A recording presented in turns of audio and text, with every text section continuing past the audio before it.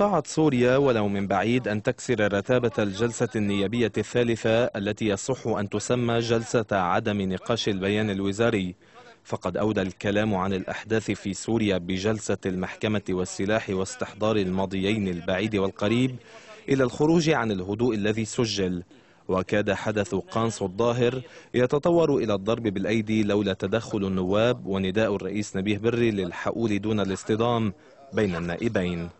فإننا نتوجه بالتحية والتقدير إلى الشعوب العربية المنتفضة على حكامها الدكتاتوريين وخاصة الشعب السوري الشقيق الذي يناضل من أجل الحرية والكرامة والديمقراطية. وإننا في هذا المجال ندعو إلى احترام خيارات الشعب السوري. ونطالب بوقف زمرة الشتامين والمطبلين. دورك تحكي يا بيجي دورك لا تجاوبني لا لا تجاوبني. عاصم بيجي دورك ما تجاوبك لا تجاوبني. لحظة يا عم يتحدث سوريا. يا عاصم. مين هو هذا الكلب لحظة شوي. لحظة شوي. بحكي الكلام. جاي أنا دورك بتحكي. الأمي جاي, جاي دورك تحكي. جاي دورك. شرف. إذا ومن منطلق دورك إيماننا, هلا. إيماننا. هلا بتحكي قد ما بدك. أنت ارتاح أنت يا ما بيصير دولة الرئيس يقاطعني. أنا عم بدير الجلسة مش أنت. دولة الرئيس أنا الحقيقة ما سمعت كلمة الزميل عاصم أنصو لأنه قال مين هالكلب اللي عم يتحدث هناك؟ ما قالش هيك فأنا بدي أقول له هو الكلب مش أنا. اسمح لي. قال هيك قال. هيك أنا أسمع. وقت اللي بده يحكي كلام بيحكي كلام. أصبعه كلاب عاصم. تاكل يا عاصم. عاصم. يا يا زميل يا اسمع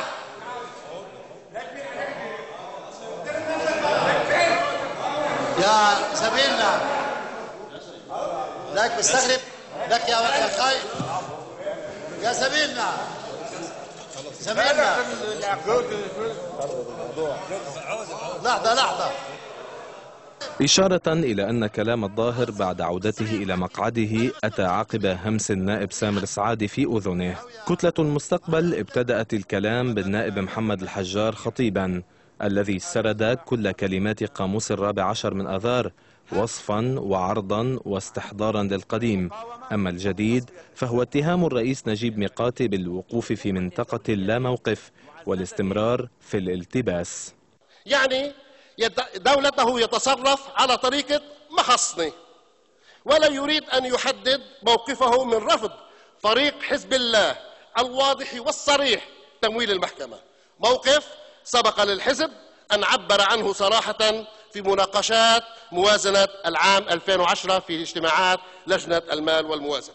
أي أن دولة الرئيس نجيب ميقاتي ينأى بنفسه عن تحديد أي موقف ويجعل نفسه حكما بين طرفين.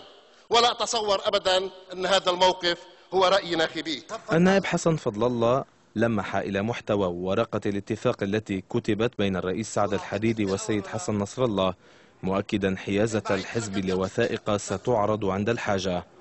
وإذ افتخر فضل الله أنه ينتمي إلى حزب السلاح دعا إلى نزع السلاح الذي استقبل به الرئيس ميقاتي في طرابلس يوم المعركة القريبة بين جبل محسن وباب التبانة من كان للحكومة رئيسا. صحيح أن وقعها ثقيل وثقيل على من توهم أنها آلت إليه ولن تؤول إلى سواه. وأن البعض يتجرع مبدأ تداول السلطة وكأنه السم الزعاف.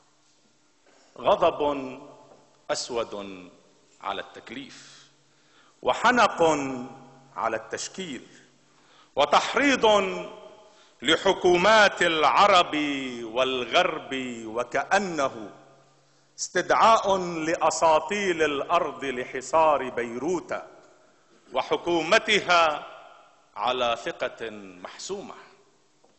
الصور والبيانات التفصيلية عن المستهدفين الأربعة والتوقيت الموحد والعبارات المنتقات بثت نهارا جهارا ومع ذلك طبعا قبل أن يسلم القرار ربما ومع ذلك لأنه كان في اجتماع مع القاضي المعني ومع ذلك المحكمة سرية والتحقيق ما حدا بيعرف فيه والقرار سري وما شابه. نحن نعرف من سرب. نعم. إن جهازا امنيا رسميا لبنانيا وزع هذه التفاصيل على أشخاص محددين عشية صدور القرار الأسماء والصور وأرقام السجل وتاريخ الولادة والأمكنة وما شابه. لأن القرار هو صنيعة الدول والأجهزة وليس وليد عملية قضائية.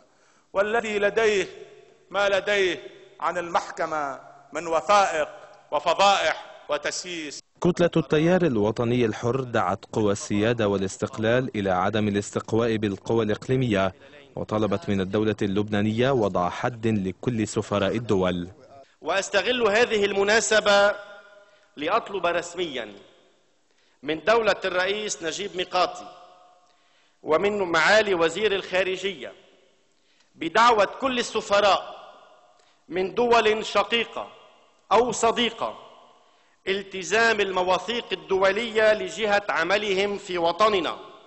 فيطلبون اذنا عندما يودون الاجتماع مع القيادات والشخصيات بالإضافة إلى التزامهم احترام إلزامهم احترام الأصول المرعية الإجراء لدى إدلائهم بالتصاريح فقد أصبحوا يتبارون مع القيادات السياسية في الإطلالات الإعلامية ويدلون بمواقف تعنى بملفاتنا الداخلية كأنهم أصبحوا نوابا عن أمتنا.